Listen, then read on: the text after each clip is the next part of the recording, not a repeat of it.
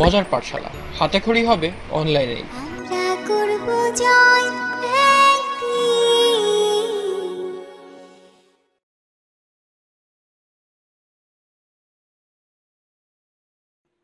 মজার পাঠশালার অষ্টম শ্রেণির অনলাইন বিজ্ঞান ক্লাসে সবাইকে স্বাগতম।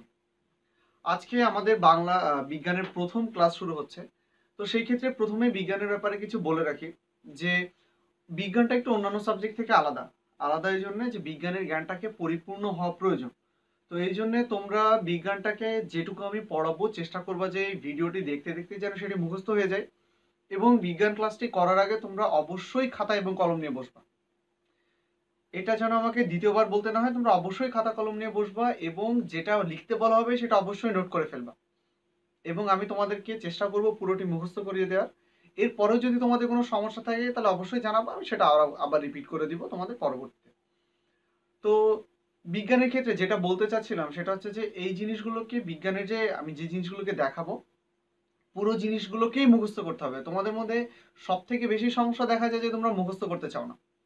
কিন্তু আমাদের কোনো একটা জ্ঞানকে কাজে লাগাতে গেলে কিন্তু আগে জ্ঞানটা অর্জন করতে হবে, জ্ঞানটা মনে রাখতে হবে।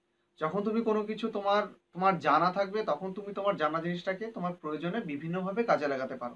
কিন্তু তুমি যদি জানোই না, তোমার যদি মনেই না থাকে জিনিসটা, তাহলে তুমি সেটাকে কীভাবে কাজে লাগাবে? তো অবশ্যই আমাদেরকে মুখস্থ রাখতে হবে বিজ্ঞানের ব্যাপারটা এবং হুবহু মুখস্থ করার চেষ্টা করতে হবে। কারণ বিজ্ঞানে তোমার একটা রয়ের ফোঁটা বাদ দিলেও, একটা বাদ পড়ে গেলেও বা একটা আকার, রশ্মিকার বাদ পড়ে গেলেও পুরো লাইনটার মানেটা চেঞ্জ হয়ে যায়। এই জন্য তোমরা চেষ্টা করবে হুবহু মুখস্থ করার।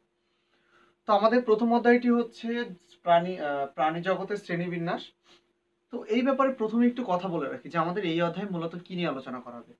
মূলত প্রাণী বিজ্ঞানটা পুরো জীব জগৎটাকে, অর্থাৎ যাদের জীবন আছে, তাদেরকে নিয়ে একটা জগৎ তৈরি করা হয়েছে, যেটাকে জীব জগৎ বলা হয়। তো এই জীব জগৎটাকে বিভিন্ন প্রাণীদের মধ্যে, মিল, অমিল বা সাদৃশ্য, বৈসাদৃশ্য বা বৈশিষ্ট্যের উপর ভিত্তি করে বিভিন্ন ধাপে ধাপে ভাগ করা হয়। এখন এটা করার প্রয়োজনীয়তাটা কি? আমরা যে শ্রেণীবিন্যাসটা করব, শ্রেণীবিন্যাসের প্রয়োজনটা কি আমাদের? শ্রেণীবিন্যাসের প্রয়োজনটা হচ্ছে যে দেখো, আমাদের চারপাশে কিন্তু অসংখ্য প্রজাতির প্রাণী আছে। আজ পর্যন্ত পৃথিবীতে প্রায় পনেরো লক্ষ প্রজাতির প্রাণী আবিষ্কার করা হয়েছে। ইভেন এখনও পর্যন্ত আবিষ্কার হয়েই চলেছে। পরবর্তী সংখ্যাটি আরও বাড়বে।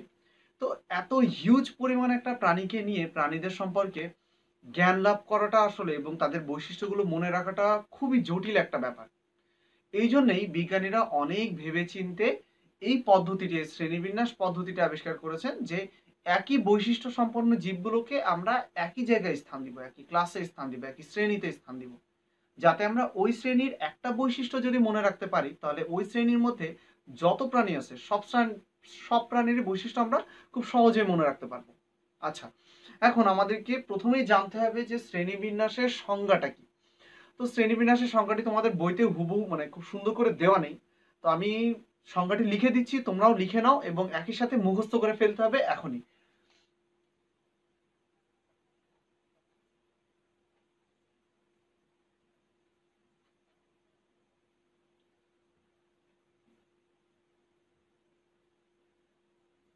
সম্পূর্ণ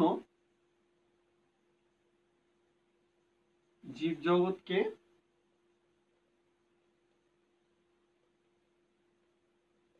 প্রাণীদেহের বৈশিষ্ট্য ও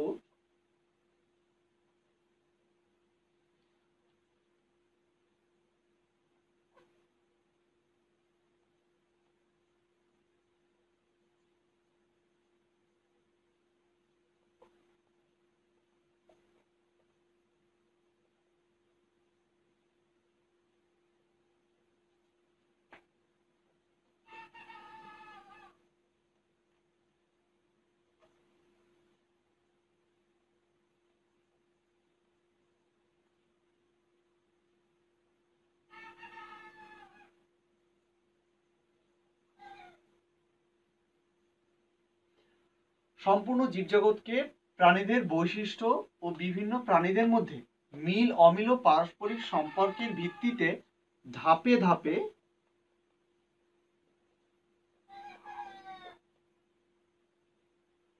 বিন্যস্ত করার প্রক্রিয়াকে শ্রেণীবিন্যাস বলে। তো দেখো আমরা এখনই মুখস্থ করে ফেলার চেষ্টা করি, আর তোমরা এটা অবশ্যই খাতায় তুলে নাও। তো আমরা দেখি, সম্পূর্ণ জীবজগৎকে আমরা কিন্তু কোনো জীবকে বাদ দিতে পারব না। যেসব যেসব বস্তুর মধ্যে জীবন আছে, তাদেরকে জীব বলা হচ্ছে, এবং সমগ্র জীবজগৎ সম্পূর্ণ জীবজগৎকে প্রাণীদেহের বৈশিষ্ট্য ও বিভিন্ন প্রাণীদের মধ্যে মিল, অমিল ও পারস্পরিক সম্পর্কের ভিত্তিতে। তার মানে দেখো, এখানে মূলত তিনটা জিনিস আলোচনা হচ্ছে বেশি একটা হচ্ছে প্রাণীদের বৈশিষ্ট্য থাকবে, প্রাণী দেহের বৈশিষ্ট্য। এবং বিভিন্ন প্রাণীদের মধ্যে যে মিল, অমিল ও পারস্পরিক সম্পর্ক থাকবে, তার ভিত্তিতে কি করা হবে? ধাপে ধাপে বিন্যস্ত করা হবে। এবং এই প্রক্রিয়াটাকে বলা হচ্ছে শ্রেণীবিন্যাস। শ্রেণীবিন্যাসের জনক বলা হয় ক্যারোলাস লিনিয়াসকে। জিনিসটা মনে রাখব, এটা কতেও আসতে পারে, আবার টিকের জন্য ইম্পর্টেন্ট আচ্ছা তো শ্রেণীবিন্যাস কি বোঝা গেল? এখানে দেখো যে শ্রেণীবিন্যাস তো হয়ে গেল। কিন্তু প্রশ্ন হচ্ছে যে, এই যে শ্রেণীতে প্রত্যেকটা প্রাণী আছে, প্রত্যেকটা প্রাণীকে দেখো আমরা পুরো পৃথিবীতে অসংখ্য দেশ আছে, প্রত্যেকটা দেশেরই ভাষা আলাদা এবং প্রত্যেকটা দেশেই এই প্রাণীদেরকে নিয়ে কিন্তু গবেষণা চলতেছে। তো সেক্ষেত্রে একটা দেশের সাথে আর একটা দেশের ভাষার বিজ্ঞানীর একটা দেশের প্রাণী বিজ্ঞানীদের বা জীববিজ্ঞানীদের কমিউনিকেশনটা কিন্তু খুব জটিল হয়ে যাবে। তো সেই জন্য কি করা হয়? প্রত্যেকটি জীবকে, প্রত্যেকটি প্রজাতির জীবকে একটা সুনির্দিষ্ট নাম দেওয়াটা খুব ইম্পর্টেন্ট যে নামে ওই প্রাণীটাকে সারা বিশ্বের প্রত্যেকটা বিজ্ঞানী চিনবে, প্রত্যেকটা মানুষ চিনতে পারবে। তো এই জন্যে একটা বৈজ্ঞানিক নামকরণের প্রয়োজন পড়ে প্রত্যেকটা জীবের জন্য। তো এই বৈজ্ঞানিক নামকরণ আমাদের ক্যারোলাস লিনিয়াস তিনি একজন প্রকৃতি বিজ্ঞানী ছিলেন, তো তিনি এই একটি নতুন বৈজ্ঞানিক নামকরণ আবিষ্কার করেন, যেটাকে দ্বিপদ নামকরণ বলা হয়। যেটিকে দ্বিপদ নামকরণ। দ্বিপদ নামকরণ। দ্বিপদ নামকরণ বলা হয় এই জন্য যে এখানে দুইটি পদের মাধ্যমে নামটিকে প্রকাশ করা হয়। তো দুইটি পদে প্রথম পদটি হচ্ছে আমাদের গণ নাম এবং দ্বিতীয় পদটি হচ্ছে প্রজাতি নাম। তো এই দুইটি পদ দ্বারা যে নামকরণ করা হয় সেটাকে দ্বিপদ নামকরণ বলা হয়। এখন, দ্বিপদ নামকরণের জনক ক্যারোলাস লিনিয়াস এটা আমি আগে বলেছি। এবার আসা যাক শ্রেণীবিন্যাসে মূলত সম্পূর্ণ জীবজগৎকে একটি নাম দেওয়া হয়েছে। জগৎটির নাম হচ্ছে অ্যানিমেলিয়া। এই অ্যানিমেলিয়া জগৎটিকে মোট নয়টি পর্বে ভাগ করা হয়েছে। তোমরা এখানে দেখতে পাচ্ছ, এখানে নয়টি পর্ব আছে। তো এই নয়টি পর্বের মধ্যে প্রথম আটটি পর্বেই আলোচনা করা হয়েছে অমেরুদণ্ডী প্রাণীদেরকে নিয়ে। এবং নবম যে পর্যায় পর্বটি, এই পর্বটি হচ্ছে শুধু মেরুদণ্ডীদেরকে নিয়ে। এখন প্রথম পর্ব কি? এখানে তোমাদেরকে প্রথমেই বলে রাখি যে এই ছকটি তোমরা ঠিক এইভাবেই মুখস্থ করবা।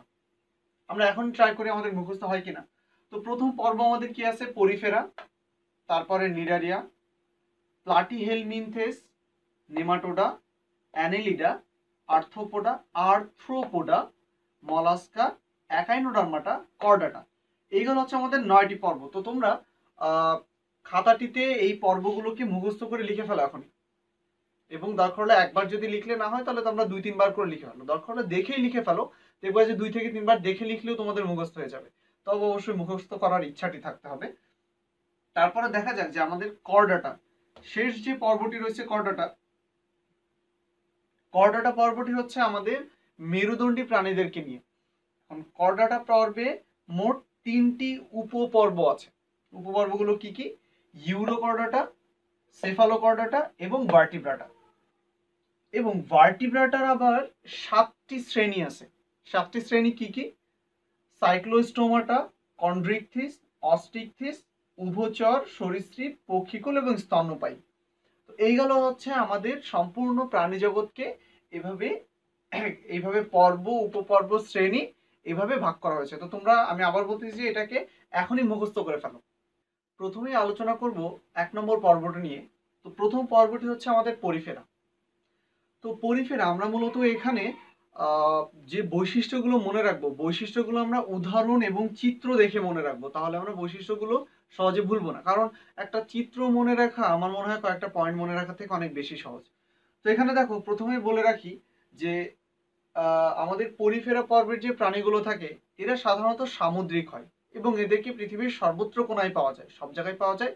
এবং কিছু প্রজাতি আছে যারা স্বাদু পানিতে পানিতেও বসবাস করে। এখন পরিফেরা পর্বের প্রাণীদের আমি উদাহরণ দেওয়া আছে দুইটা। একটা হচ্ছে স্পঞ্জিলা এবং আরেকটা হচ্ছে সাইফা। এখন এই পরিফেরা পর্বের প্রাণীদেরকে স্পঞ্জও বলা হয়। এখন তোমরা নিশ্চয়ই বুঝতে পারতেছো যে স্পঞ্জ কেন বলা হয়? কারণ স্পঞ্জের সাথে এই প্রাণীগুলোর মিল আছে। কেমন মিল? প্রথমত হচ্ছে কি? যে এরা অত্যন্ত এদের কোষ অত্যন্ত সরল প্রকৃতির। তার মানে এদের কোষ সেভাবে সুগঠিত না। তো এরা সরল প্রকৃতির এবং বহুকোষী প্রাণী। কারণ দেখতে পাচ্ছ, এক একটা প্রাণী অনেক বড় চিত্র সেহেতু অবশ্যই বহুকোষী প্রাণী হবে। তো আমরা প্রথম যে বৈশিষ্ট্যটা পাচ্ছি, সেটা কি? সেটা হচ্ছে কি, সরল কোষী ও বহুকোষী। আচ্ছা এখন দ্বিতীয় যে বৈশিষ্ট্যটা আমরা লক্ষ্য করতেছি, সেটা এদের নাম থেকেই পেয়ে যাচ্ছে। সেটা হচ্ছে কি স্পঞ্জ নামে। এখন স্পঞ্জ কি হয়? কেমন হয় দেখতে? স্পঞ্জের গায়ে অসংখ্য ছোট ছোট ক্ষুদ্র ছিদ্র থাকে না? যে ছিদ্রের মধ্যে সে পানি ধারণ করে রাখতে পারে। তো এদের দেহেও সেরকম অসংখ্য ছিদ্র থাকে। তো এদের দ্বিতীয় বৈশিষ্ট্য হচ্ছে দেহে অসংখ্য ছিদ্র থাকে। এই হচ্ছে এদের দ্বিতীয় বৈশিষ্ট্য।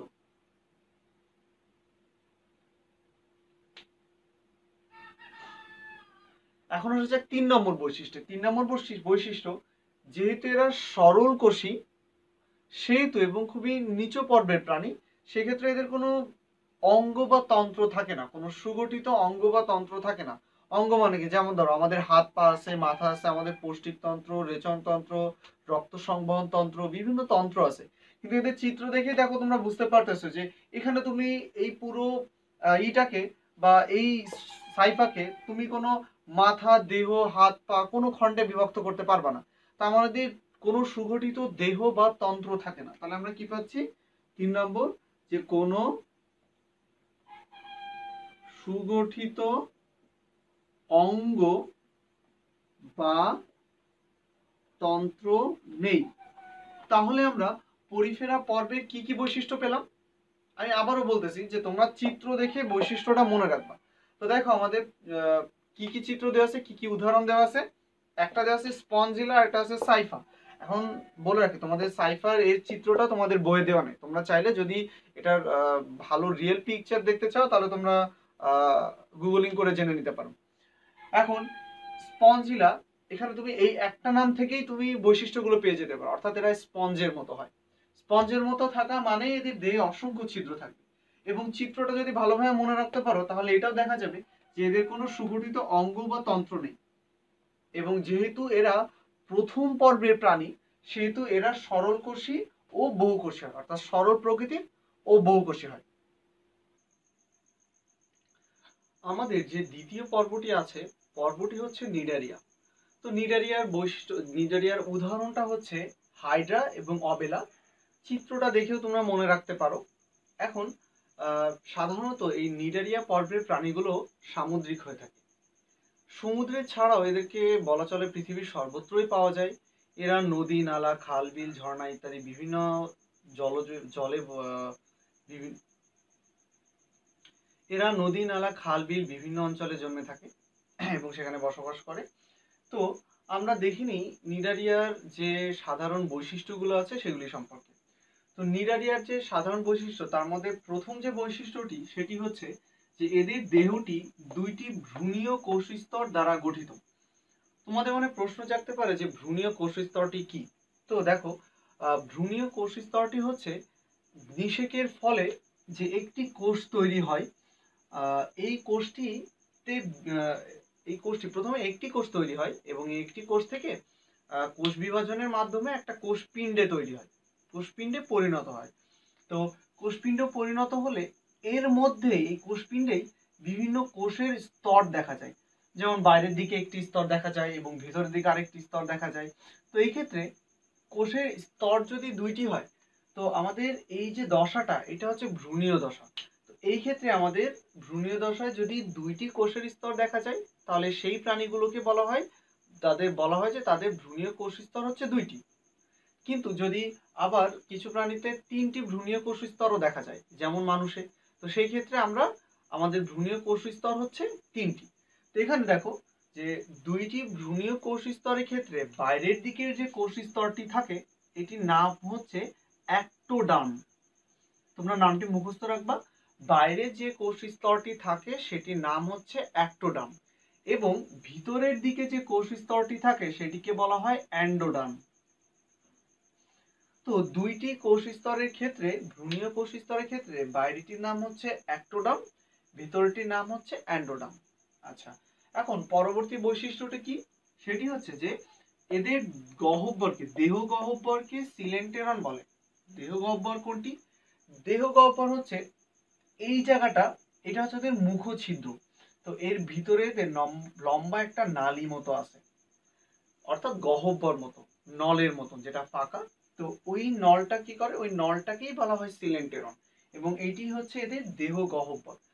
তো দেখো, যেহেতু এরা এতটা উন্নত প্রাণী না, খুবই সাধারণ প্রাণী তো সেই জন্য কি হয় যে এদের তো কোনো পরিপাক তন্ত্র নাই, অর্থাৎ খাদ্য হজম করার জন্য যেমন আমাদের পাকস্থলী আছে, এদের সেটা নাই। তো তারপরে আবার আমাদের রক্ত চলাচলের জন্য আমাদের রক্ত সংবহন তন্ত্র আছে, তো বিভিন্ন আমাদের তন্ত্র এবং অঙ্গ আছে। তো এদেরকে এদের সেই তন্ত্র এবং অঙ্গ নেই? তো সেই জন্য কি করে এরা? এই যে সিলেন্টেরন নামক যে দেহ গহ্বরটি থাকে, এই দেহ গহ্বরটি এদের পরিপাক এবং সংবহনে অংশগ্রহণ করে। তো সংবহন সম্পর্কটা সম্পর্কে একটু বলি।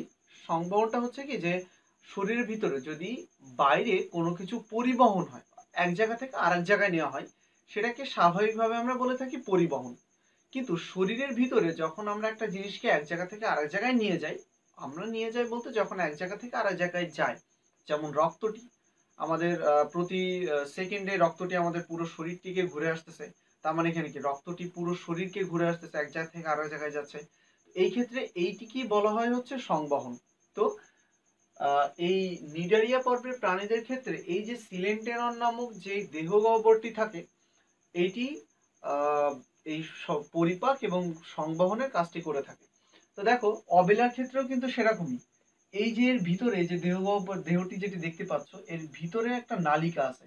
সেটি হচ্ছে ওদের দেহ গহ্বর, যেটাকে বলা হয় সিলেন্টেরন। তৃতীয় এবং শেষ যে বৈশিষ্ট্যটি, সেটি হচ্ছে যে এদের অ্যাক্টোডার্মে। অ্যাক্টোডার্ম মানে কোনটা? এই বাইরের দিকে যে কোষ স্তরটি আছে, এই অ্যাক্টোডার্মে এদের নিডোব্লাস্ট নামে একটা বিশেষ বৈশিষ্ট্য সম্পন্ন কোষ থাকে। তো বিশেষ বৈশিষ্ট্যটা কি? বৈশিষ্ট্যটা হচ্ছে যে এই যে কোষগুলি আছে নিডোব্লাস্ট নামে, এরা শিকার ধরা আত্মরেখা এবং চলন এই কাজগুলোতে অংশগ্রহণ করে থাকে। অন্যান্য কোষগুলি করে না, শুধুমাত্র এই নিডোব্লাস্ট নামের একটা বিশেষ কোষ- কোষ আছে, যারা এই কাজগুলি কাজগুলিতে অংশগ্রহণ করে। এখন তোমাদের মনে হয়তো প্রশ্ন জাগতে পারে যে নিডোব্লাস্টটি দেখতে কেমন বা কীভাবে এরা শিকার ধরা আত্মরক্ষা বা চলন করে? চলনের কাজটি করে থাকে। তো আমি বলব যে তোমাদের এখন এটি না জানলেও চলবে। তারপরেও যদি তোমরা নিজের আগ্রহে জানতে চাও, সেক্ষেত্রে তোমরা ইউটিউব থেকেও দেখতে পারো, অথবা চাইলে তোমরা আমাদেরকে জানাতে পারো। আমরা তোমাদেরকে ব্যাপারটি সম্পর্কে ইনফর্ম করতে পারি, অর্থাৎ আমরা তোমাদেরকে জানিয়ে দিতে পারি। আর যদি তোমরা মনে করো যে না, এখন দরকার নেই ইট উইল বি ফাইন তোমরা নাইন টেনে উঠে যদি সায়েন্স নাও, তাহলে এই সম্পর্কে জেনে যাবা, বিস্তারিত। তো এই ছিল হচ্ছে আমাদের নিডারিয়া পর্বের প্রাণীদের যে সাধারণ বৈশিষ্ট্য। বৈশিষ্ট্যটি আমরা আরেকবার রিভাইজ করি। সেটি হচ্ছে কি যে দেহ দুটি ভ্রূণীয় কোষ স্তর দ্বারা গঠিত বাইরেরটিকে অ্যাক্টোডার্ম এবং ভেতরেরটিকে অ্যান্ডোডার্ম বলা হয়। দ্বিতীয় বৈশিষ্ট্যটি হচ্ছে এদের দেহ গহ্বরকে সিলেন্টেরন বলে। এবং সিলেন্টেরন কি কাজ করে? সিলেন্টেরনটা এদের পরিপাক পরিপাক এবং সংবহনে অংশগ্রহণ করে। তৃতীয় যে বৈশিষ্ট্যটি আছে, সেটি হচ্ছে যে নিডোব্লাস্ট নামে বিশেষ কোষ থাকে এদের। যে কোষটি থাকে অ্যাক্টোডার্মে, অর্থাৎ বাইরের দিকের যে কোষ স্তরটি আছে সেটি। কাজ কি করে বিশেষ? শিকার ধরা আত্মরক্ষা এবং চলন। তো আমি তোমাদেরকে এখন যেটি বলব, সেটি হচ্ছে যে তোমরা ভিডিওটি পজ করো, এই বৈশিষ্ট্যগুলিকে তোমরা মুখস্থ করো। মুখস্থ করার পরে তোমরা খাতায় দুইবার লিখো। তারপরে তোমরা ভিডিওটি প্লে করে পরবর্তী পর্বের বৈশিষ্ট্যগুলি দেখো। আমাদের তৃতীয় পর্বটি হচ্ছে প্লাটিহেন মিনথেস তো প্লাটিহেন মিনথেসে দেখা যায় কি যে এদের বসবাস, এরা যেসব অঞ্চলে বসবাস করে এটা বিভিন্ন হয়ে থাকে। অর্থাৎ এদের বসবাসের, এরা বিভিন্ন পরিবেশে এদেরকে পাওয়া যায়, বিভিন্ন ধরনের পরিবেশে। যেমন এদের বেশ কিছু প্রজাতি আছে যারা পরজীবী হিসাবে বাস করে, বেশ কিছু প্রজাতি আছে যারা স্বাধীনভাবে বসবাস করে। আবার এদেরকে স্বাদু পানি এবং লবণাক্ত উভয় জায়গাতেই পাওয়া যায়। আবার কিছু প্রজাতি আছে যারা তোমার স্যাঁতসেতে এবং ভেজা মাটিতে বসবাস করে থাকে। তো আসো প্রথমে আমাদের এদের উদাহরণটা দেখে নিই যে এদের উদাহরণ হচ্ছে যকৃত কৃমি এবং ফ্রিতাকৃমি তো এখন আমরা বৈশিষ্ট্যগুলো দেখে ফেলি। তো বৈশিষ্ট্যের মধ্যে প্রথমেই আসে হচ্ছে যে দেহ, চ্যাপ্টা এবং উভলিঙ্গ। তো উভলিঙ্গ বলতে কি বোঝাচ্ছে? দেখো, আমাদের আমরা হচ্ছে একলিঙ্গ প্রাণী, অর্থাৎ পুং এবং স্ত্রীলিঙ্গ আলাদা আলাদা প্রাণীর মধ্যে অবস্থান করে। যেমন আমরা মানুষের মধ্যে ছেলে মেয়ে আছে। কিন্তু এই প্রাণীগুলো উভলিঙ্গ হয়। এদের লিঙ্গভেদ হয় না। তারপরে কি আছে পরবর্তী বৈশিষ্ট্যটি? বহির্পরজীবী বা অন্তঃপরজীবী। এখন প্রথমে আমরা একটু জেনে নিই যে পরজীবী পরজীবী কি। পরজীবী হচ্ছে যেসব জীব অন্য দেহের পরিপাকৃত খাদ্য গ্রহণ করে জীবন ধারণ করে থাকে। অর্থাৎ অন্য জীবের উপর নির্ভর করে জীবন ধারণ করে থাকে, তাদেরকে পরজীবী বলা হচ্ছে। এবং যে জীবের উপর নির্ভর করে বা তার পরিপাকৃত খাদ্য গ্রহণ করে জীবন ধারণ করে থাকে, সেই জীবকে পোষক দেহ বলা হয়। তো পরজীবী মূলত দুই প্রকার। একটা হচ্ছে বহির্পরজীবী যেটা যেখানে পরজীবীটি জীবদেহের অর্থাৎ পোষক দেহের বাইরে অবস্থান করে বেঁচে থাকে। এবং আরেকটি হচ্ছে অন্তর্পরজীবী, যেটা জীবদেহের শরীরের ভিতরে থেকে জীবন ধারণ করে। এখন পরবর্তী বৈশিষ্ট্যটি দেখা যাক। যে দেহ পুরো কিউটিকল দ্বারা আবৃত। কিউটিকল দ্বারা আবৃত, এখানে কিউটিকলটি কি? কিউটিকলটি হচ্ছে মোম জাতীয় পদার্থের এক ধরনের আস্তরণ। যেহেতু এরা পরজীবী, তার মানে এদেরকে অন্য জীবের দেহের ভিতরে বসবাস করতে হয়। তো যেসব দেহের ভিতরে বসবাস করতে হলে দেহের ভিতরে বিভিন্ন প্রত্যেকটি জীবের শরীরের ভিতরে বিভিন্ন এনজাইম তৈরি হচ্ছে, যেগুলো অনেক সময় কিছু এনজাইম এনজাইমগুলো মূলত খাদ্য হজমে সহায়তা করে। তো এরা যেন ওই এনজাইমগুলো দ্বারা আক্রান্ত হয়ে মারা না যায়, তার জন্য কি হয়, মোমের একটি আস্তরণ থাকে এদের শরীরের বাইরে, যেটা এদেরকে সুরক্ষা করে এদের মারা যাওয়া থেকে। তো এই যে আস্তরণটি এটি হচ্ছে কিউটিকল যেটা একটা মোম জাতীয় পদার্থ। তারপরে বৈশিষ্ট্য কি? দেহের চোষক ও আংটা থাকে। এখন চোষক জিনিসটা হচ্ছে কি, যেহেতু এরা অন্য জীবদেহের পরিপাকিত খাদ্য খেয়ে বেঁচে থাকে, সেহেতু এদের এরা ওই পরিপাকিত খাদ্যটা চুষে নেওয়ার জন্যে এদের শরীরে চোষক থাকে এবং আংটা থাকে হচ্ছে কোনো একটিকে, কোনো একটি ভিত্তিকে তারা যাতে আঁকড়ে ধরে রাখতে পারে তার জন্য। তারপরে বৈশিষ্ট্য হচ্ছে এদের দেহে শিখা অঙ্গ থাকে। শিখা অঙ্গটা কি? শিখা অঙ্গটা হচ্ছে এদের রেচন অঙ্গ। আমাদের যেমন কিডনি রেচন অঙ্গ, যেটা রক্তকে পরিশুদ্ধ করে, এদের এই কাজটি করে হচ্ছে শিখা অঙ্গ নামে অঙ্গটি। আচ্ছা লাস্ট বৈশিষ্ট্যটি হচ্ছে যে পৌষ্টিকতন্ত্র অসম্পূর্ণ বা অনুপস্থিত। যেহেতু এরা পরজীবী, এরা অন্যের পরিপাকিত খাদ্য গ্রহণ করে বেঁচে থাকে, সেহেতু এদের নিজেদের পরিপাকতন্ত্র না হলেও চলে। তো সেই জন্যই এদের হ্যাঁ পরিপাকতন্ত্র না হলেও চলে। তো পৌষ্টিক তন্ত্রটা হচ্ছে আমাদের যে তন্ত্রটা পরিপাকে অংশগ্রহণ করে, সেটা হচ্ছে পরিপাকতন্ত্র বা পৌষ্টিকতন্ত্র। তো এই জন্য যেহেতু এরা অন্য জীবের উপর জীবন ধারণ করে পরিপাকিত খাদ্যকে, তাই এতে পৌষ্টিকতন্ত্রটা অসম্পূর্ণ থাকে বা অনেক সময় অনুপস্থিত দেখা যায়। তো আমি আগের বারের মতো বলব যে তোমরা এই ভিডিওটি পজ করে পরবর্তী পর্বটি দেখার আগেই এই বৈশিষ্ট্যগুলোকে মুখস্থ করে এক থেকে দুইবার লিখে ফেলো। চতুর্থ পর্বটি হচ্ছে নেমাটোডা নেমাটোডা মূলত অন্তঃপরজীবী হিসেবে বাস করে, অর্থাৎ এদের যত প্রজাতি আছে, বেশিরভাগ প্রজাতি অন্তঃপরজীবী। তবে কিছু প্রজাতি আছে যারা স্বাধীনভাবে বসবাস করে। তো এদের বৈশিষ্ট্যগুলো দেখা যাক। বৈশিষ্ট্য দেখার আমরা উদাহরণটা দেখতে পারি, যেমন গোল কৃমি। তো বৈশিষ্ট্যের মধ্যে প্রথম যে বৈশিষ্ট্যটি আছে, সেটি হচ্ছে কি, দেহ নলাকার ও পুরু ত্বক দ্বারা আবৃত। পুরু ত্বক থাকার কারণটা কি? এটা আমরা পরজীবীর ক্ষেত্রে পুরু ত্বক থাকার কারণটা আমরা এর আগে বর্ণনা করেছি সেই জন্য এখন আর বলছি না। দ্বিতীয় বৈশিষ্ট্যটি হচ্ছে যে পৌষ্টিক নালীর সম্পূর্ণ মুখ ও পায়ছিদ্র উপস্থিত। এখানে দেখো যে আমাদের এর আগে পর্যন্ত, আমাদের এর আগের পর্ব পর্যন্ত আমাদের পৌষ্টিকতন্ত্রটা সম্পূর্ণ ছিল না। কিন্তু আমাদের এই নেমাটোডা থেকে এই পৌষ্টিকতন্ত্রটা সম্পূর্ণ হচ্ছে এবং মুখ ও পায়ছিদ্র উপস্থিত। তারপরে কি? তৃতীয় বৈশিষ্ট্য হচ্ছে শ্বসনতন্ত্র ও সংবহনতন্ত্র অনুপস্থিত। শ্বসনতন্ত্র বলতে কি? শ্বাস প্রশ্বাসে যে অঙ্গটি, যে তন্ত্রটি কাজে লাগে বা অংশগ্রহণ করে, সেটি হচ্ছে শ্বসনতন্ত্র এবং সংবহন তন্ত্রটা কি এটা আমরা আগে বলছি? তো এই দুইটি আমাদের নেমাটোডার পর্বের প্রাণীগুলোতে অনুপস্থিত থাকে। তারপরে এরা সাধারণত একলিঙ্গ হয় এবং এদের দেহ গহ্বর অনাবৃত ও প্রকৃত সিলোম নেই। সিলোমটা কি? আমরা যে সিলেন্টেরন পড়ছিলাম না, দেহ গহ্বর, সিলোমটা সিলোমও ওই একই ধরনের একটা দেহ গহ্বর। তো কি এদের দেহ গহ্বরটি অনাবৃত? অনাবৃত মানে কি আবৃত না? এই সম্পর্কে তোমরা ডিটেলসে পরে জানতে পারবা। এই ছিল আমাদের নেমাটোডা পর্বের বৈশিষ্ট্যগুলো। আমি আবারও বলছি, তোমরা ভিডিওটি পজ করে বৈশিষ্ট্যগুলি মুখস্থ করে এখনই লিখে ফেলো। পাঁচ নম্বর পর্বটি হচ্ছে অ্যানেলিডা। অ্যানেলিডা পর্বের প্রাণীগুলো সাধারণত নাতিশীতোষ্ণ এবং উষ্ণমণ্ডলীয় অঞ্চলে বসবাস করে।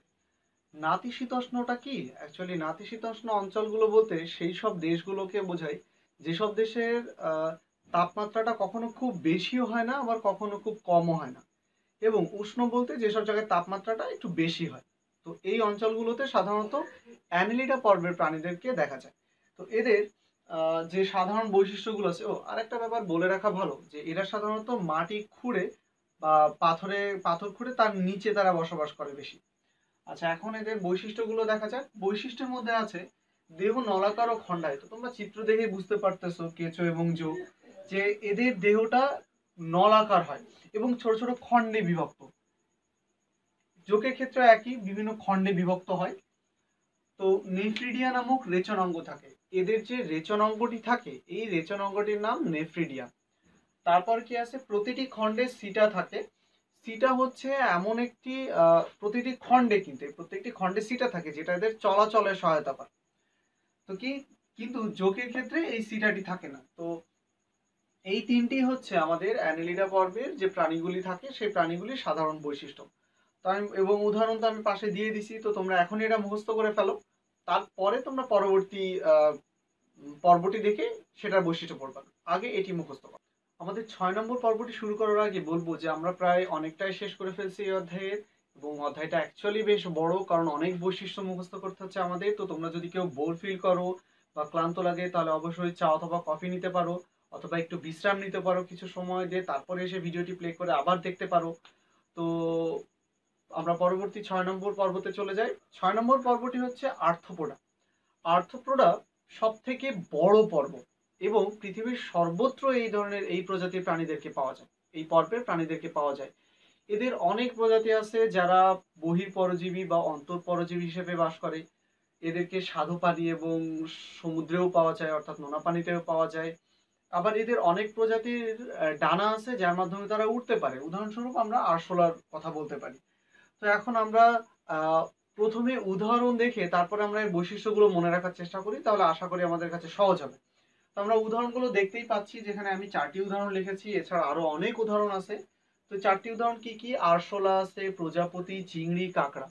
তো দেখা যায় যে আমরা এই উদাহরণগুলো থেকে কীভাবে বৈশিষ্ট্যটাকে বৈশিষ্ট্যটা মনে রাখতে পারি।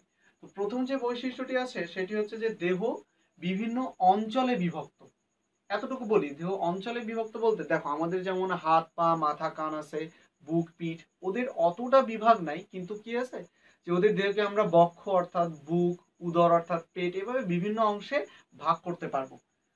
তারপরে কি? ও সন্ধিযুক্ত উপাঙ্গ। সন্ধি মানে ভাঁজ। এই ভাঁজটাকে সন্ধি বলা হয়। তোমরা চিংড়ি অনেকেই খেয়েছো, অনেকে পছন্দও করো, আবার অনেকে করো না। তো তোমরা চিংড়িতে দেখবা যে ওর পা গুলোকে অনেকগুলো ভাঁজ থাকে ওদের পায়ে। তো এই ভাঁজগুলোকে বলা হয় সন্ধি। আর অ্যাকচুয়ালি উপাঙ্গ বলতে আমাদের যেমন হাত পা বলা হয় অ্যাকচুয়ালি ওদের হাত পা বলা হয় না, ওদের ওই হাত পা গুলোকে উপাঙ্গ বলা হয়। তো কি দেখা যাচ্ছে যে আমাদের এই পর্বের, আর্থপোড়া পর্বের প্রাণীদের সন্ধিযুক্ত উপাঙ্গ থাকে এবং এরা বিভিন্ন অঞ্চলে দেহকে ভাগ করা যায়। প্রথম বৈশিষ্ট্য, যেটা আমরা এর প্রত্যেকটি উদাহরণে দেখে থাকি। পরের বৈশিষ্ট্যটা কি যে মাথায় এক জোড়া পুঞ্জাক্ষীয় অ্যান্টেনা থাকে। এইটাও আমাদের আরশোলা বলি, প্রজাপতি বলি, চিংড়ি বলি বা কাঁকড়া প্রত্যেকটিতে এই বৈশিষ্ট্যগুলো দেখা যায়। সেটা কি? যে আরশোলা দেখবা যে সামনের দিকে বা চিংড়ি দেখবা যে সামনের দিকে দুটি অ্যান্টিনা মতো আছে। এবং পুঞ্জাক্ষীটা কি? আমাদের যেমন চোখ, ওদের যে চোখটা না, ওই চোখটাকে পুঞ্জাক্ষী বলা হয়। কেন বলা হয়? এটা এখন জানা দরকার নেই, কারণ আমাদের চোখের গঠন আলাদা তো, ওদের চোখের গঠনটা সম্পূর্ণ আলাদা। তো এই ভিন্ন, সম্পূর্ণ ভিন্ন ধরনের চোখ হওয়ার কারণে ওটাকে পুঞ্জাক্ষী বলা হয়, চোখ বলা হয় না। তারপরে কি, তিন নম্বর যে বৈশিষ্ট্যটা কি আছে? যে নরম দেহ কাইটিন সমৃদ্ধ আবরণী দ্বারা আবৃত। তো এই কাইটিন সমৃদ্ধ আবরণীটা কি হয়? শক্ত একটা খোলসের মতো হয়। যেমন কি, চিংড়িতে দেখবা যে চিংড়ির উপরে একটা শক্ত খোলস থাকে, আবার আরশোলার উপরেও থাকে। তো এটা কি করে? শরীরের দেহের নরম অংশটাকে আবৃত করে রাখে এবং এটি হয় কাইটিন সমৃদ্ধ। তারপরে কি? কাইটিনটাকে একটু বলে রাখি, যদি তোমাদের মনে প্রশ্ন জেগে থাকে। তো কাইটিনটা হচ্ছে মোম জাতীয় এক ধরনের পদার্থ, যেটা অনেক শক্ত হয়, যেটাতে প্রাণীর ভিতর নরম অংশটিকে রক্ষা করে থাকে। এবং চতুর্থ এবং সর্বশেষ যে বৈশিষ্ট্যটি, এটি হচ্ছে কি? যে দেহের রক্তপূর্ণ যে গহ্বরটি থাকে, এটা হিমোসিল নামে পরিচিত। রক্তপূর্ণ গহ্বরটি হিমোসিল নামে পরিচিত।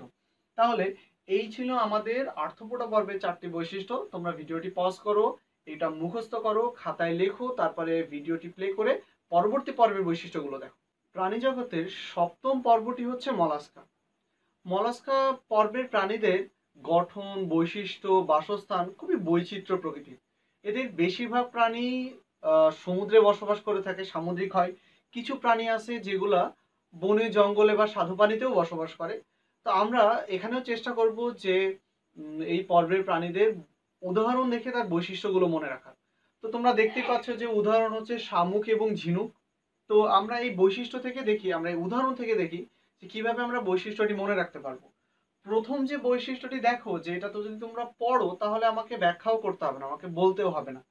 যে দেহ নরম নরম দেহটি সাধারণত শক্ত খোলস দ্বারা আবৃত থাকে। তো তোমরা শামুক, ঝিনুক দুইটাতেই দেখেছ যে বাইরে একটা শক্ত খোলস থাকে এবং ভিতরে এদের যে মেন যে ইটা থাকে, শরীরটা থাকে, দেহটা থাকে, এটা অত্যন্ত নরম হয়। তারপরে দ্বিতীয় বৈশিষ্ট্যটা কি? পেশিবহুল পা দিয়ে এরা চলাচল করে। এদের যে পাটি থাকে, এরা যখন চলা, তখন এদের দেখবে যে একটা ঢেউ খেলে যায় পায়ের কাছে। তো এটা পেশিবহুল পায়ের কারণেই ওই গঠনটা আসে। তারপরে তিন নম্বর যে বৈশিষ্ট্যটা, এটা হচ্ছে ফুসফুস বা ফুলকার সাহায্যে শ্বাসকার্য চালায়। দেখো, ফুসফুস হচ্ছে যেসব প্রাণী মাটিতে বসবাস করে, তাদের শ্বাসকার্য চালানোর জন্য তারা যে অঙ্গটা ব্যবহার করে, সেটা হচ্ছে ফুসফুস। আর পানিতে বসবাসকারী, অর্থাৎ জলজ যে প্রাণীগুলো আছে, সেই প্রাণীগুলো তাদের শ্বাসকার্য চালানোর জন্য যে অঙ্গটি ব্যবহার করে, সেটি হচ্ছে ফুস ফুলকা। এখন তোমরা অনেকেই সবাই প্রায় বলতে গেলে মাছের ফুলকা দেখেছ। যারা মাছের ফুলকা দেখোনি, তারা বাসায় মাছ নিয়ে আসলে আম্মুকে অবশ্যই বলবা যে আমাকে ফুলকাটা দেখাও মাছের, আমি ওটা দেখব। তারপরে কি যে, যেহেতু শামুক বা ঝিনুক, এরা প্রধানত সামুদ্রিক, সেহেতু এরা যখন পানিতে থাকে পানির নিচে থাকে, তখন এরা ফুলকার সাহায্যে শ্বাসকার্য চালায়। আর এরা যখন মাটিতে উঠে আসে, তখন সেই মুহূর্তে এরা ফুসফুসের সাহায্যে শ্বাসকার্য চালায়। তাহলে এই ছিল হচ্ছে মলাস্কা পর্বের বৈশিষ্ট্যগুলো। এবং বৈশিষ্ট্যগুলো অত্যন্ত সহজ। আমি বারবারই বলি যে তোমরা উদাহরণ থেকে বৈশিষ্ট্যগুলো মনে রাখবা। তো তোমরা প্রথমে এই বৈশিষ্ট্যগুলো মুখস্থ করো, তারপরে এর পরবর্তী পর্বের বৈশিষ্ট্যগুলো দেখো। প্রাণী জগতের অষ্টম পর্বটি হচ্ছে, প্রাণী জগতের অষ্টম পর্বটি হচ্ছে একাইনোডার্মাটা একাইনোডার্মাটা মূলত অমেরুদণ্ডীদের, অমেরুদণ্ডী প্রাণীদের সর্বশেষ পর্ব এটি। এরপর থেকে এর পরে যে সর্বশেষ যে পর্বটি আছে সেটা হচ্ছে মেরুদণ্ডী পর্ব। এখন একাইনোডার্মাটার এরা সব করে এদের যত প্রজাতি আছে সবাই সামুদ্রিক। এদেরকে কখনো মিঠা পানিতে পাওয়া যায় না এবং সমুদ্রের যত যত জায়গায় সমুদ্র আছে, সকল সমুদ্রে এদের পাওয়া যায় এবং সকল গভীরতায় এদের পাওয়া যায়। এখন এদের আমরা উদাহরণ থেকে বৈশিষ্ট্যগুলো মনে রাখার চেষ্টা করি। তো এদের উদাহরণ হচ্ছে তারা মাছ এবং সমুদ্র শশা। তো আমরা প্রথম যে বৈশিষ্ট্যটি আছে, সেটি কি দেহত্বক কাঁটাযুক্ত তারা মাছের শরীরে অসংখ্য কাঁটা থাকে। এবং সমুদ্র শশাতেও দেখা যায় যে তাদের পুরোটা শরীরে অসংখ্য কাঁটা দেখা যায়। দ্বিতীয় যে বৈশিষ্ট্যটি, সেটি হচ্ছে দেহ সমান পাঁচটি ভাগে বিভক্ত। এটা তোমরা একটা তারার সাথে কল্পনা করলেই দেখতে পাবা যে এটি সমান পাঁচটি ভাগে বিভক্ত হচ্ছে প্রত্যেকটি ভাগ।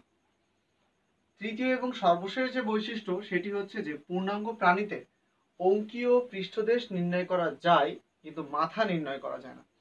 অঙ্কীয় দেশ কোনটি পৃষ্ঠীয় দেশ কোনটি আমি যদি একটা হাতের তালু রাখি এভাবে, তাহলে এইটা হবে হচ্ছে আমার পৃষ্ঠীয় দেশ। বলা চলে পিঠের দিকটা, পৃষ্ঠীয় দেশ। এটা হচ্ছে আমার অঙ্কীয় দেশ। তা আমরা এই পর্বের প্রাণীদেরকে, অ্যাকাইনোডার্মাটা পর্বের প্রাণীদের এই অঙ্কীয় দেশ, এই পৃষ্ঠীয় দেশ এবং অঙ্কীয় দেশ নির্ধারণ করা যায়। আবার বলছি, অ্যাকাইনোডার্মাটা পর্বের প্রাণীদের পৃষ্ঠীয় দেশ এবং অঙ্কীয় দেশ নির্ধারণ করা গেলেও এদের মাথা নির্ধারণ করা যায় না। তো এই গেল হচ্ছে আমাদের অ্যাকাইনোডার্মাটা পর্বের যে সাধারণ বৈশিষ্ট্য ছিল তা। তোমরা এটি মুখস্থ করার পরে পরবর্তী ভিডিও পরবর্তী পর্বের বৈশিষ্ট্যগুলি দেখবে। প্রাণী জগতের শ্রেণীবিন্যাসের সর্বশেষ পর্বটি হচ্ছে করডাটা। করডাটা পর্বে সকল মেরুদণ্ডী প্রাণীদেরকে স্থান দেওয়া হয়েছে। এখন এদের বাসস্থান সম্পর্কে আমার মনে হয় আমার বলার প্রয়োজন হবে না। তোমরা সবই জানো এই জন্য আমি আর নতুন করে বলছি না, তোমরা একটু পড়ে নিবে, ব্যাস। উদাহরণটা দেখতে পারো, মানুষ কোনো ব্যাগ, রুই মাছ। আমরা মূলত এটাতে এখানে বৈশিষ্ট্য নিয়ে আলোচনা করব। দেখা যাক এদের কি কি বৈশিষ্ট্য আছে। তো প্রথম যে বৈশিষ্ট্যটি দেখা যায়, সেটি হচ্ছে যে এই পর্বের প্রাণীর সারা জীবন অথবা ভ্রূণ অবস্থায় পৃষ্ঠীয় দেশ বরাবর, পৃষ্ঠীয় দেশ মানে পিঠ বরাবর নটকর্ড অবস্থান করে। আচ্ছা এখানে মজার একটা ব্যাপার হচ্ছে কি যে এই যে নটকর্ড আছে না, নটকর্ড জিনিসটা কি? এখানে অবশ্য বলা আছে যে নটকর্ড হলো একটা নরম, নমনীয়, দণ্ডাকার, দৃঢ় ও অখণ্ডায়িত অঙ্গ। নরম, নমনীয় নমনীয় মানে যেটা আমরা সহজে বাঁকাইতে পারব। দণ্ডাকার অর্থাৎ দণ্ডের মতো, দৃঢ় অর্থাৎ একটু মজবুত টাইপ এবং অখণ্ডায়িত অর্থাৎ যেটাতে খণ্ড নাই, একটা পুরো একটা দণ্ড। এরকম একটি অঙ্গ হচ্ছে নটকর। তো আমি যদি আরেকটু ভালোভাবে বলি, নটকরটা হচ্ছে, নটকরটা ভ্রূণী অবস্থায় আহ, নটকর্ডটা যখন থাকে এই নটকর্ডটাই পূর্ণাঙ্গ অবস্থায় আমাদের মেরুদণ্ডে পরিণত হয়। অর্থাৎ মেরুদণ্ডী প্রাণীদের যে মেরুদণ্ডটা তৈরি হয় এটা তৈরি হয় নটকর্ড থেকে। তো মূলত এই নটকর্ডের জন্য এই পর্বটির নাম কর্ডাটা রাখা হয়েছে।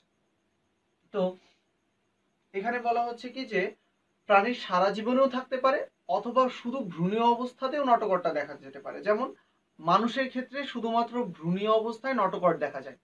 পরবর্তীতে যখন মানুষ পূর্ণাঙ্গ রূপ লাভ করে অর্থাৎ পরিপূর্ণ হয়ে যায় ভূমিষ্ঠ হয় তখন সেটা নটকর্ডটি মেরুদণ্ডে পরিণত হয়। আচ্ছা, দ্বিতীয় বৈশিষ্ট্যটি দেখা যাক। দ্বিতীয় বৈশিষ্ট্য হচ্ছে পৃষ্ঠদেশে একক ফাঁপা স্নায়ুরজ্জু থাকে।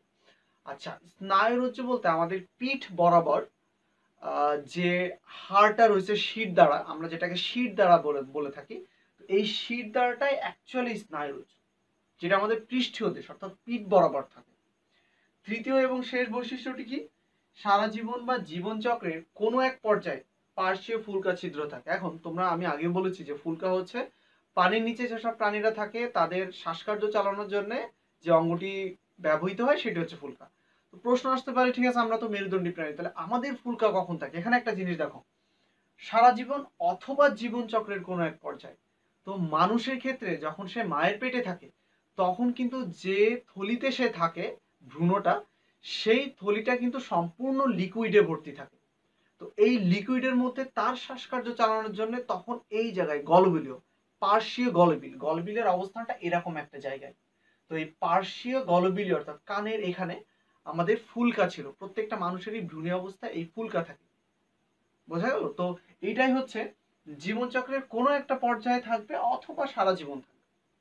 এই গেল হচ্ছে আমাদের নবম যে পর্যায়টি ছিল, পর্বটি ছিল কর্ডাটা। কর্ডাটা পর্বের সাধারণ বৈশিষ্ট্যগুলো। বৈশিষ্ট্যগুলো এখনই মুখস্থ করে নাও। আশা করি তোমাদের অলরেডি অনেকটা মুখস্থ হয়ে গেছে। এখন এটা মুখস্থ করার পরে তোমরা লিখে ফেলো বৈশিষ্ট্যটি। তাহলে আর ভুলবা না। কর্ডাটা পর্বের প্রাণীগুলোকে আবার তিনটি উপপর্বে কর্ডাটা পর্বের প্রাণীদেরকে আবার তিনটি উপপর্বে ভাগ করা হয়। উপপর্ব তিনটি হচ্ছে ইউরো ইউরোকর্ডাটা সেফালোকর্ডাটা এবং ভার্টিব্রাটা তো আমরা বৈশিষ্ট্যগুলো দেখে নিই। তো ইউরোকর্ডাটার যে প্রথম বৈশিষ্ট্যটি আছে, সেটি হচ্ছে যে প্রাথমিক অবস্থায় এদের ফুলকারন্ধ্র থাকে এবং পৃষ্ঠীয় ফাঁপা স্নায়ুরজ্জু থাকে। পৃষ্ঠ বলতে পিঠের দিকে। আচ্ছা। এবং দ্বিতীয় বৈশিষ্ট্য হচ্ছে শুধুমাত্র লার্ভা দশায় এদের লেজে নটকট দেখা যায়। শুধুমাত্র লার্ভা দশায়, আর কখনো থাকে না। এবং উদাহরণ হচ্ছে অ্যাসিডিয়া আচ্ছা। এবার সেফালোকর্ডাটার বৈশিষ্ট্যটা কি? দেখো সেফালোকর্ডাটা প্রথম বৈশিষ্ট্য হচ্ছে সারা জীবনই এদের দেহে নটকর্ডের উপস্থিতি লক্ষ্য করা যায় এবং দেখতে মাছের মতো। এবং উদাহরণ দেওয়া আছে কি? ব্রাঙ্কিওস্টোমা। ব্রাঙ্কিওস্টোমা। এখন দেখো যে আমরা যদি ইউরোকর্ডাটা এবং সেফালোকর্ডাটার মধ্যে পার্থক্য করি, তাহলে প্রথম পার্থক্য আসবে যে ইউরোকর্ডাটায় শুধুমাত্র লার্ভা দশায় এই নটকর্ডটা থাকে এবং সেটা শুধুমাত্র লেজে। এবং সেফালোকর্ডাটায় দেখা যায় কি যে এদের সারা জীবনই দেহে নটকর্ড থাকে। আর আরেকটা উদাহরণ, পার্থক্য হচ্ছে অ্যাসিডিয়া এবং ব্রাঙ্কিওস্টোমা। তার মানে এদের প্রাণীর বই উদাহরণটি এটা। এবং ভার্টিব্রাটা অ্যাকচুয়ালি এই ভার্টিব্রাটা উপপর্বটিকে মোট সাতটি শ্রেণীতে ভাগ করা হয়েছে। এখন এবং আমরা এই মেরুদণ্ডী প্রাণী বলতে এই ভার্টিব্রাটা ভার্টিব্রাটা পর্বের প্রাণীদেরকেই বুঝে থাকি। ভার্টিব্রাটা উপপর্বের প্রথম শ্রেণীটি হচ্ছে সাইক্লোস্টোমাটা। সাইক্লোস্টোমাটা পর্বের সাধারণ বৈশিষ্ট্য হচ্ছে এদের দেহটা লম্বাটে হয়, মুখছিদ্র গোলাকার এবং চোয়াল বিশিষ্ট হয় এবং ফুলকা ছিদ্রের সাহায্যে শ্বাস নেয়। উদাহরণ হচ্ছে পেট্রোমাইজোম। দ্বিতীয় যে শ্রেণীটি হচ্ছে শ্রেণীটি হচ্ছে কন্ড্রিকথিস। কন্ড্রিকথিসের সাধারণ বৈশিষ্ট্য কি? এ পর্বের সকল প্রাণী সমুদ্রে বাস করে, কঙ্কাল, তরুণাস্থিময় দেহ প্লাকয়েড আইস দ্বারা আবৃত, মাথার দুই পাশে পাঁচ থেকে সাত জোড়া ফুলকা ছিদ্র থাকে, কানকো থাকে না। এখানে উদাহরণটি হচ্ছে হাঙর, হাতুড়ি মাছ, প্রভৃতি। তো এখানে দেখো যে এদের এই যে প্লাকয়েড আইস দ্বারা আবৃত দেহটি, প্লাকয়েড আইসটি মূলত কি? তোমরা যদি ডিসকভারি চ্যানেল বা ন্যাশনাল জিওগ্রাফি দেখে থাকো অথবা কোনো মুভিতে দেখে থাকো, তাহলে দেখবা যে হাঙরের শরীরটা বেশ মসৃণ মনে হয়। কিন্তু অ্যাকচুয়ালি ওটা মসৃণ না, ওটা এই অতি ক্ষুদ্র এই এক ধরনের আইস দ্বারা গঠিত, যে আইসটির নাম হচ্ছে প্লাকয়েড আইস। এটা আমাদের অন্যান্য আমরা যে যে মাছগুলো খেয়ে থাকি সাধারণত, সেই মাছের আইসের মতো না। আচ্ছা এবং ফুলকারন্ধ্র একটা জিনিস দেখবে যে কানকো থাকে না। কানকো জিনিসটা হচ্ছে কি, বাসায় যখন মাছ নিয়ে আসবে, আম্মু যখন মাছ কাটতে বসবে, তখন একটু বসে ওখান থেকে একটু চিনে নিবা যে আমার কানকো কোনটা। এই দুই সাইডে মাথার দুই সাইডে যে ঢাকনা মতো থাকে, ওইটাই হচ্ছে কানকো। তো এই কানকোটা ইসে থাকে না। এই কন্ড্রিকথিস পর্বের প্রাণীদের, শ্রেণির প্রাণীদের থাকে না।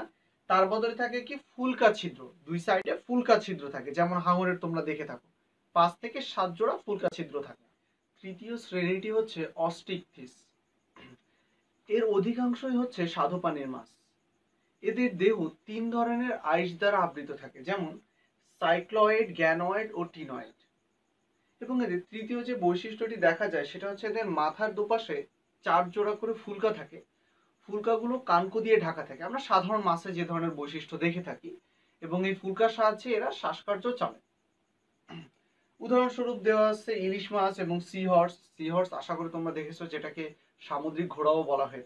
ভার্টিব্রাটা উপপর্বের চতুর্থ শ্রেণীটি হচ্ছে উভচর, যেটাকে ইংলিশে অ্যামফিবিয়া বলা হয়। তোমরা এই নামটিও মনে রাখবা, কারণ অনেক সময় টিকের ক্ষেত্রে এই নামটাও ব্যবহার করা হয়ে থাকতে পারে। আমরা সাধারণ বৈশিষ্ট্য দেখে নিই। এখন উভচর বলতে কি? যারা পানিতে এবং, অর্থাৎ জলে এবং স্থলে উভয় জায়গায় বসবাস করতে পারে। উদাহরণস্বরূপ আমরা কোনো ব্যাঙের সংজ্ঞা অর্থাৎ ব্যাঙের সংজ্ঞা দিতে পারি, উদাহরণ দিতে পারি। এখন এর বৈশিষ্ট্যগুলো কি কি? সাধারণত ব্যাঙ আমরা সবাই দেখছি আমাদের চারপাশে। তো ওই ব্যাঙের যে বৈশিষ্ট্যগুলো আমরা পাবো, সেইগুলোই মূলত এই উপচারের বৈশিষ্ট্যের মধ্যে আমরা মনে রাখতে পারব। কি কি আছে আমরা এখানে দেখে নিই? যে দেহত্বকটি আঁশবিহীন হয়।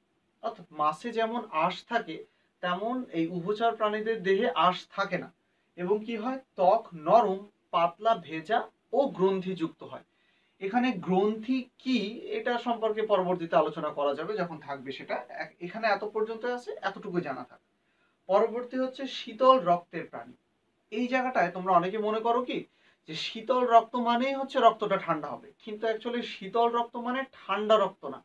শীতল বলতে যে তাপমাত্রার সাথে, দেখো, আমাদের শরীরের রক্তের তাপমাত্রা কিন্তু নির্দিষ্ট।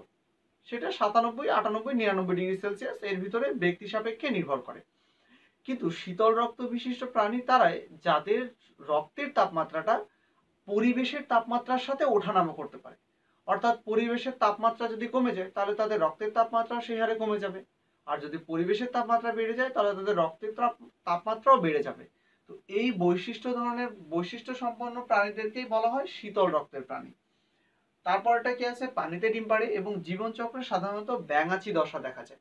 এখন ছোটবেলায় ইভেন আমরাও এমন কাজ করেছি যে ওই ব্যাঙাচিগুলো যখন তৈরি হতো, আমরা ওগুলোকে মাছ মনে করে ধরে নিয়ে আসতাম। তো তোমরা হয়তো অনেকেই এই জিনিসটার সাথে পরিচিত। আর যারা পরিচিত না, তারা তোমাদের আশেপাশের যে পুকুর টুকুর বা যেখানে পানি জমে থাকে, যেখানে ব্যাঙ থাকার সম্ভাবনা আছে, বিশেষ করে বর্ষাকালে তোমরা লক্ষ্য করে দেখবা যে প্রচুর মাছের মতো দেখতে ছোট ছোট ইপোনা মতো দেখা যায়। ওইগুলোই মূলত ব্যাঙাচি এগুলো সবই ব্যাঙের ব্যাঙাচি আর কি। অর্থাৎ ওদের এই ব্যাঙাচি দশাটা দেখা যায়।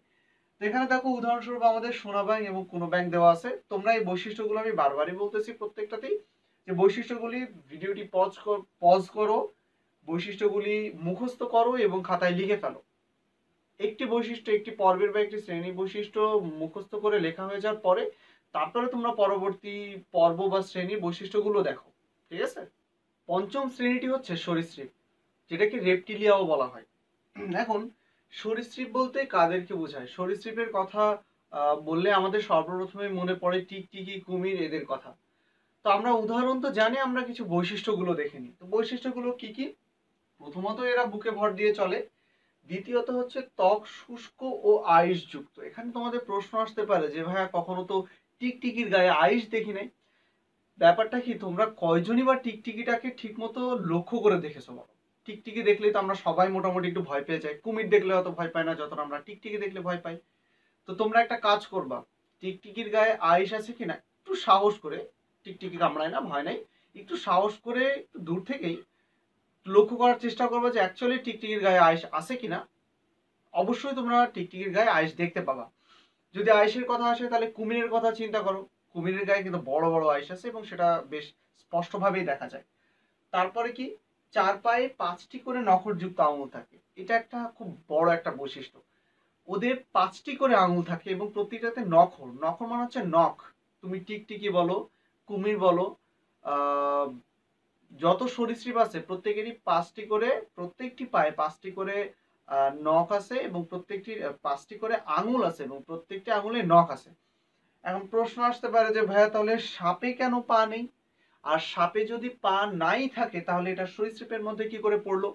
একটা জিনিস দেখো, প্রথমত বলতে হয় যে, আমরা এই যে তিনটি বৈশিষ্ট্য আছে, তিনটি বৈশিষ্ট্যের মধ্যে দেখো, উপরের দুইটি বৈশিষ্ট্যই কিন্তু সাপের সাথে মিলে যায়। শুধু এই একটা ক্ষেত্রে ব্যতিক্রম দেখা যায়। প্রথম হচ্ছে বৈশিষ্ট্য এটি। এবং দ্বিতীয় পয়েন্ট যেটি, সেটা হচ্ছে কি, যে তোমার সাপে অ্যাকচুয়ালি সাপেরও কিন্তু পা ছিল। বিবর্তনের ধারায় ওই পাটি ব্যবহার না হওয়ার কারণে বিলুপ্ত হয়ে গেছে। এই সম্পর্কিত যদি আমাদের থাকে এই যে, তাহলে আমরা অবশ্যই সম্পর্কিত বিস্তারিত আলোচনা করব। যদি না থাকে, কোনো চিন্তা নেই।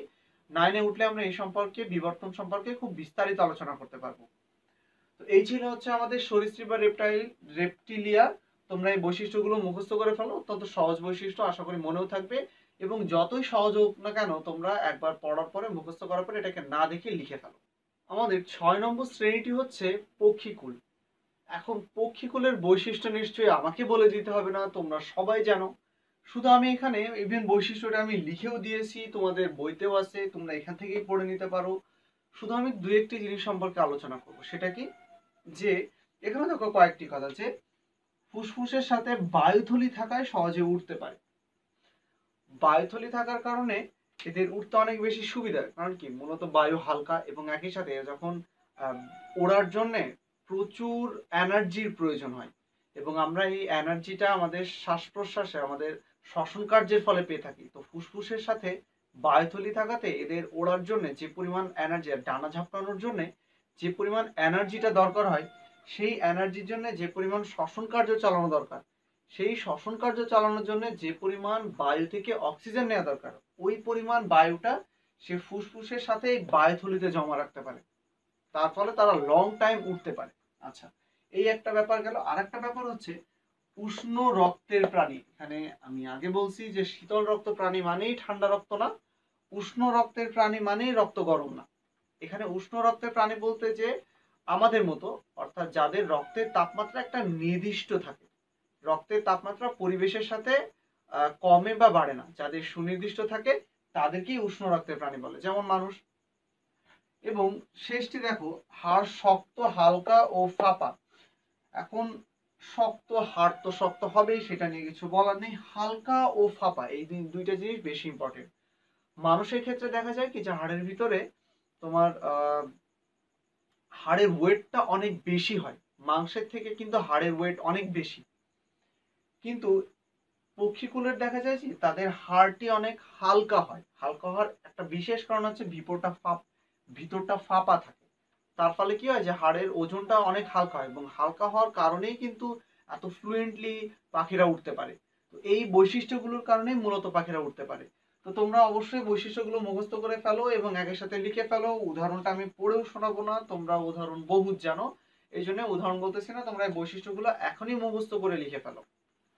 ভার্টিব্রাটা আমাদের সর্বশেষ এবং সপ্তম শ্রেণীটি হচ্ছে স্তন্যপায়ী, যেটাকে ম্যামেলিয়া বলা হয়। কিন্তু এইটার বৈশিষ্ট্যটা আমি তোমাদেরকে বলব না, তোমরা আমাকে বলবা। দেখা যাক তোমরা কি কি বৈশিষ্ট্য বের করতে পারো। একটি উদাহরণ আমি দিয়ে দিতে পারি যে ম্যামালি অর্থাৎ স্তন্যপায়ীর উদাহরণ হচ্ছে আমরা মানুষ নিজেরাই। তো আমি চাই যে এই বৈশিষ্ট্যগুলি তোমরা আমাকে লিখে পাঠাও। তোমরা কমেন্টে জানাতে পারো, আমাদের ফেসবুক পেজ আছে, সেখানে জানাতে পারো, আমাদের মেইল আছে মেইল করতে পারো, যেভাবে হোক তোমরা আমাকে এর বৈশিষ্ট্যগুলো অবশ্যই লিখে জানাও। সর্বশেষ যে সর্বশেষ যে ব্যাপারটি নিয়ে আলোচনা করব, যে টপিকটি নিয়ে আলোচনা করব, সেটা হচ্ছে যে আমরা এই যে শ্রেণীবিন্যাস দেখলাম, এই শ্রেণীবিন্যাসের মূলত প্রয়োজনীয়তাটা কি? শ্রেণীবিন্যাসের প্রয়োজনীয়তাটা কি এটা আমরা ভিডিও শুরুর একদম প্রথমেই বলে দিয়েছিলাম। এই জন্য আমরা এখন আর বেশি এক্সপ্লেন করতেছি না। শুধু এতটুকুই বলে রাখি যে এই বিপুল প্রাণী জগৎ সম্পর্কে, বিপুল জীবজগৎ সম্পর্কে সংক্ষেপে মনে রাখা এবং এই আহরিত জ্ঞানগুলোকে সংগ্রহ করা এবং কাজে লাগানোর জন্যেই এই শ্রেণীবিন্যাসটির আবিষ্কার করা হয়েছে। তো এই ছিল আমাদের পুরো ভিডিওটি। তোমরা